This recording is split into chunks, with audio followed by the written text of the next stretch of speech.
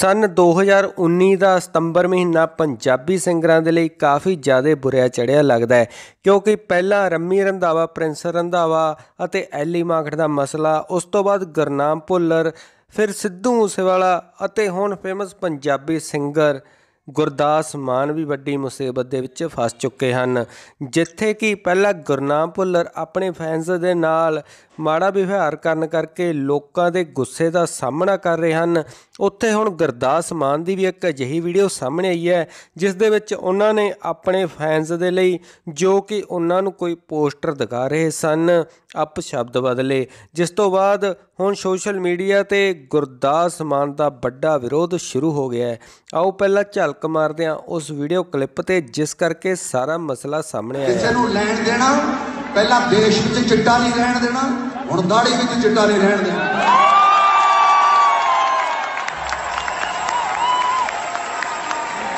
ਇਹਨਾਂ ਨਾ ਮਰੋੜ ਕੇ ਬੱਤੀ ਬਣਾ ਕੇ ਲੈ ਲੈ।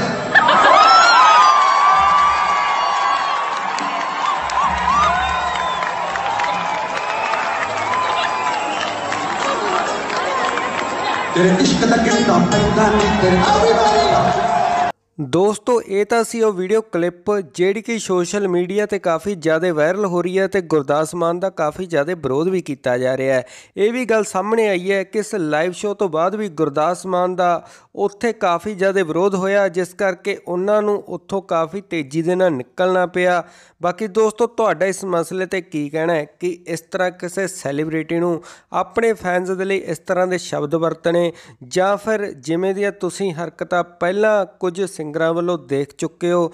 ਉਸ ਤਰ੍ਹਾਂ ਦੀ ਹਰਕਤਾਂ ਕਰਨੀਆਂ ਕੀ ਸੋਭਦੀਆਂ ਹਨ ਜਾਂ ਫਿਰ ਨਹੀਂ? ਇਸ ਬਾਰੇ ਤੁਸੀਂ ਕੀ ਸੋਚਦੇ ਹੋ? ਸਾਨੂੰ ਕਮੈਂਟ ਕਰਕੇ ਜਰੂਰ ਦੱਸਣਾ ਅਤੇ ਹਰ ਤੇਜ਼ ਅਪਡੇਟ ਸਭ ਤੋਂ ਪਹਿਲਾਂ ਦੇਖਣ ਦੇ ਲਈ ਤੁਹਾਡੇ ਆਪਣੇ ਚੈਨਲ ਅਨਲਿਮਟਿਡ ਗਿਆਨ ਨੂੰ ਸਬਸਕ੍ਰਾਈਬ ਕਰਕੇ ਨਾਲ ਵਾਲੀ ਨੋਟੀਫਿਕੇਸ਼ਨ ਬੈਲ ਤੇ ਜਰੂਰ ਔਨ ਕਰ ਲੈਣਾ ਤਾਂ ਕਿ ਸਾਡੀ ਹਰ ਇੱਕ ਨਵੀਂ ਵੀਡੀਓ ਤੁਹਾਡੇ ਤੱਕ ਉਸੇ ਸਮੇਂ ਪਹੁੰਚ ਸਕੇ। ਇਸ ਅਪਡੇਟ ਵਿੱਚ ਇੰਨਾ ਹੀ। ਮਿਲਦੇ ਆ ਜਲਦ ਕਿਸੇ ਹੋਰ ਨਵੀਂ ਵੀਡੀਓ ਦੇ ਨਾਲ।